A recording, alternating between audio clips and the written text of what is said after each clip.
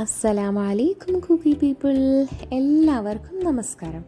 ഇന്നൊരു simple and healthy recipe ആയിട്ടാണ് നമ്മൾ വന്നിരിക്കുന്നത്. ബേക്കറിയിൽ നിന്നൊക്കെ നമ്മൾ വാങ്ങുന്ന മിക്സറൊക്കെ ഇല്ല. അതേപോലത്തൊക്കെ തന്നെ ടേസ്റ്റ് ഉണ്ടാവും. പക്ഷെ നമ്മൾ ഉണ്ടാക്കുന്നത് പൊരി വെച്ചിട്ടാണ്. അപ്പോൾ ആദ്യം തന്നെ പറയാം ചാനൽ ഇതുവരെ സബ്സ്ക്രൈബ് ചെയ്യാതെയാണ് കാണുന്നതെങ്കിൽ പ്ലീസ് സബ്സ്ക്രൈബ് ചെയ്ത ചാനൽ എല്ലാവർക്കും ഷെയർ ചെയ്യുക ഉണ്ടാക്കി നോക്കിയിട്ട് എനിക്ക് കമൻസ് അറിയിക്കുക. സോ ഇതാണ് നമ്മളുടെ സ്റ്റാർ ഓഫ് ദ ഷോ പൊരി.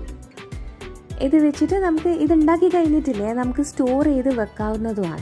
അപ്പം ഞാനിവിടെ ഉണ്ടാക്കുന്നത് ഒരു കിലോ പൊരിന്റെ അളവിലാണ്. പക്ഷെ ഞാൻ പറയുന്നത് ഒരു കപ്പിന് വേണ്ടിയിട്ടുള്ള ചെറിയൊരു അളവായിരിക്കും ഞാൻ പറയാൻ പോകുന്നത് ഓക്കെ അപ്പം ഉണ്ടാകേണ്ട സ്റ്റെപ്സ് ഒക്കെ സെയിം തന്നെ പക്ഷേ അളവ് ഞാൻ കുറച്ചിട്ടാണ് പറയുന്നത്. നിങ്ങൾ അതിനനുസരിച്ച് ഡബിൾ ചെയ്യുക. അപ്പോൾ എണ്ണ ചൂടാക്കുക വെളിച്ചെണ്ണ ഉപയോഗിക്കേണ്ട സാധാ വെജിറ്റബിൾ ഓയിൽ ഉപയോഗിക്കുക ഒരു ടേബിൾ സ്പൂൺ ഓയിലേക്ക് കുറച്ച് കടു ഇട്ട് പൊട്ടിക്കുക. പിന്നെ വേണ്ടത് കാൽ കപ്പ് കടലയാണ്. കടലൊക്കെ നമ്മൾ വറക്കാത്തത്. ഇതിപ്പോൾ ഞാനിവിടെ വറക്കുകയാണ് ചെയ്യുന്നത് അത്. അപ്പം ജസ്റ്റ് ഒരു മണം വന്നാൽ മതി. ഭയങ്കര കളറ് മാറുമൊന്നും ചെയ്യേണ്ട. ആ ഒരു നല്ല മണം വന്നു കഴിഞ്ഞാൽ ഇതിലേക്ക് കുറച്ച് കറിവേപ്പില ഇട്ട് കൊടുക്കുക. പിന്നെ വേണ്ടത് അര ടീസ്പൂൺ മഞ്ഞൾപ്പൊടിയും അര ടീസ്പൂൺ മുളക് പൊടിയുമാണ്.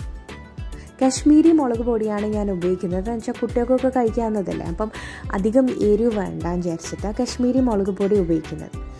പിന്നെ കുറച്ച് ഉപ്പും ഇതൊക്കെ ഇട്ട് നല്ലോണം ഒന്ന് സോട്ട് ചെയ്തെടുക്കാം. ഇനി വേണ്ടത് ഇനി ഞാൻ ഇട്ട് കൊടുത്തത് അര ടീസ്പൂൺ പഞ്ചസാരയാണ്. ഇതൊക്കെ ചേർത്തതിന് ശേഷം ഒന്ന് ഇളക്കി കൊടുത്തിട്ട് ഗ്യാസ് അങ്ങ് ഓഫ് ചെയ്യുക ഇനി ഗ്യാസ് ഓൺ ആക്കണ്ട.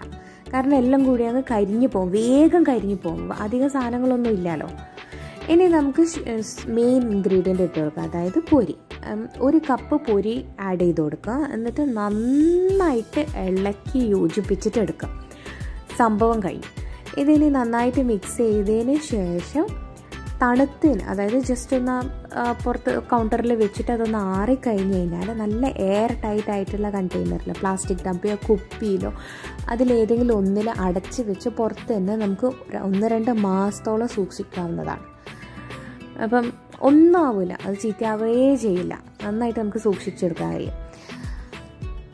ഇത് മക്കൾക്കൊക്കെ കൊടുക്കുക ഇടയ്ക്ക് സ്നാക്ക് ഐറ്റം ആയിട്ട് കൊടുക്കുക. ചെറിയ കുട്ടികൾക്ക് വരെ കൊടുക്കാവുന്നതാണ്. നമ്മൾ എവിടെയെങ്കിലും യാത്രയൊക്കെ പോകുന്നത് ഇപ്പോൾ കൊറോണയല്ലേ പുറത്തുനിന്ന് അധികം ഭക്ഷണമൊന്നും വാങ്ങിക്കാൻ കഴിയില്ല. ഇടയ്ക്കിടയ്ക്ക് വിശക്കുന്നതെന്ന് പറയുമ്പോൾ. അപ്പോൾ ഇതൊക്കെ ക്യാരി ചെയ്ത് കഴിഞ്ഞാൽ സംഭവം അടിപൊളിയായിരിക്കും.